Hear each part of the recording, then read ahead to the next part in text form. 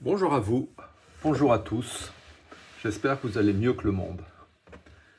J'ai grand plaisir à vous retrouver aujourd'hui, et j'en profite pour vous amener en Amérique du Sud. Le trait au sol que vous voyez sur cette photo représente bien le tracé d'une frontière. Mais laquelle?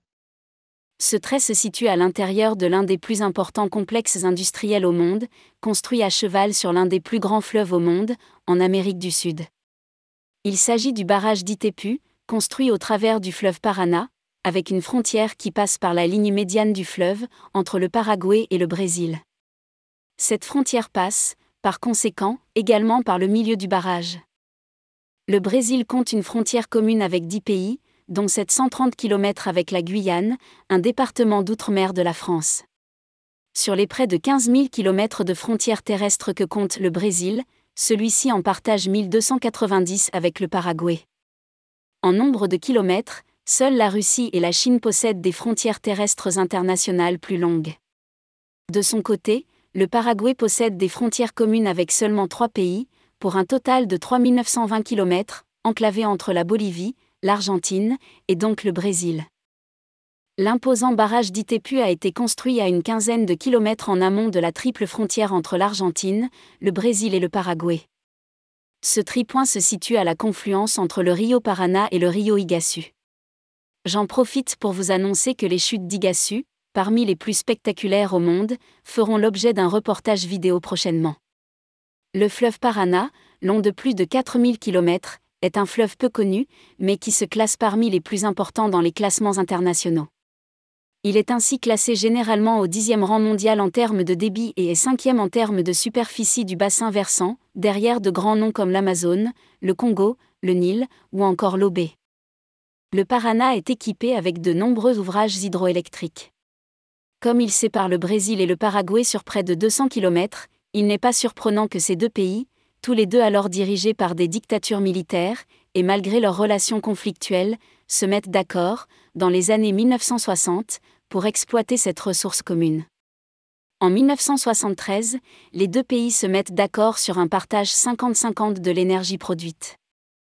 Dans le même traité, le Paraguay s'engage à revendre exclusivement au Brésil toute l'énergie produite qu'il n'aura pas consommée, à un prix fixé, jusqu'au terme de cet accord en 2023.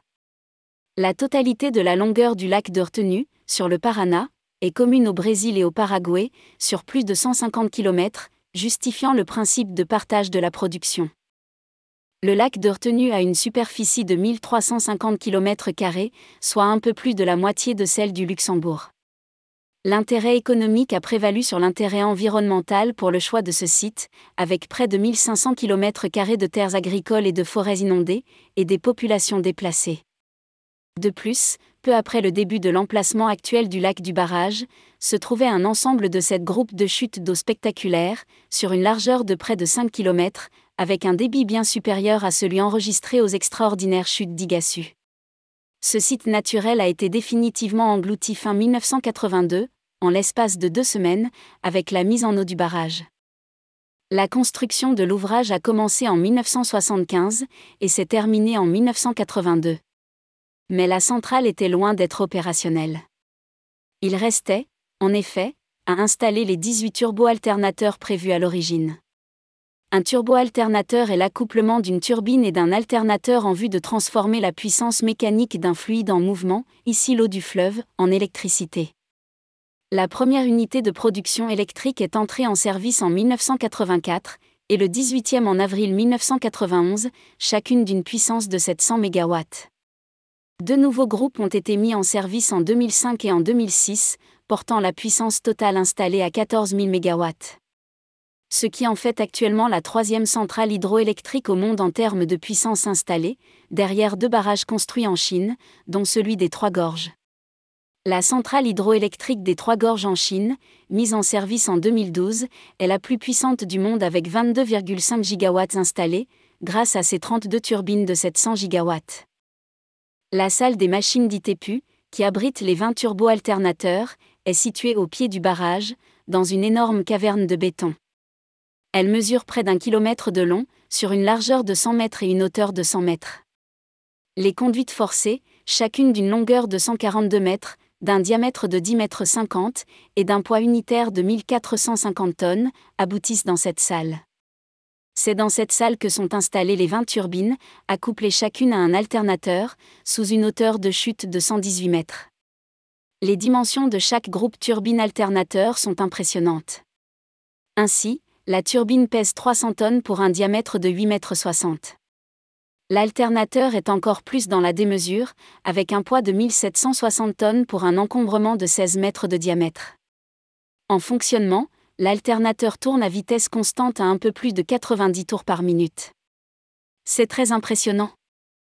Par ailleurs, un traité a également été signé, entre les deux pays exploitant la centrale d'Itepu et l'Argentine, afin de régir les niveaux d'eau en aval du barrage et les volumes de rejet d'eau de la centrale, afin de garantir à l'Argentine un niveau d'eau adéquat aux besoins des villes de Rosario et de Buenos Aires. Techniquement, ces villes pourraient, en effet, être inondé en cas de lâcher d'eau trop important fait à la centrale d'Itepu.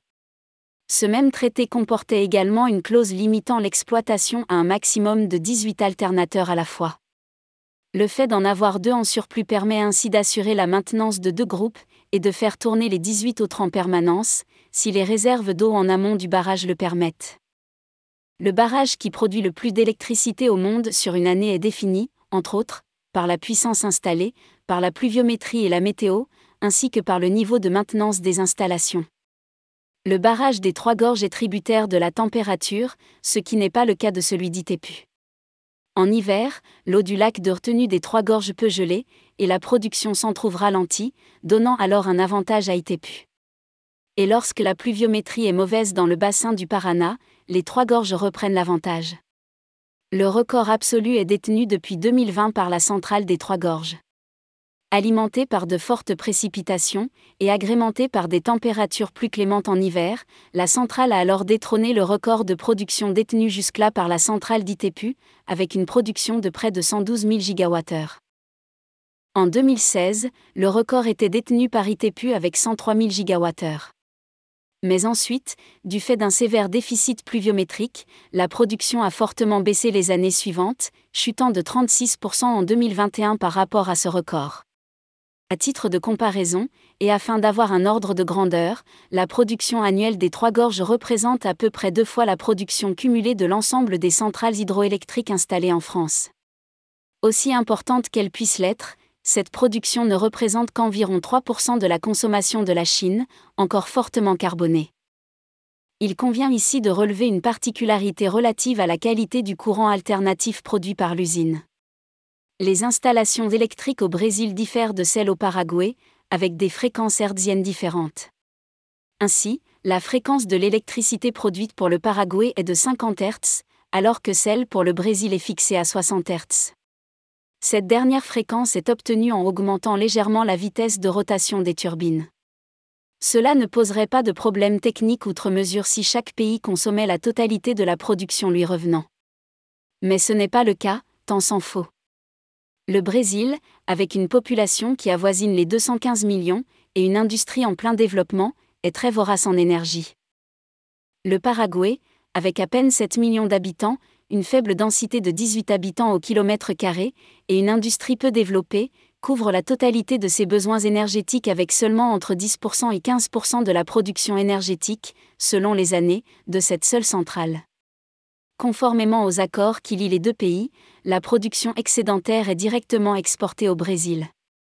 Deux lignes électriques transportent cette énergie vers les villes de Rio de Janeiro et de Sao Paulo, à environ 800 km de là, et une installation y assure la conversion vers une fréquence de 60 Hz. Le prix de revente de ces surplus d'électricité est constamment une source de friction entre les deux pays.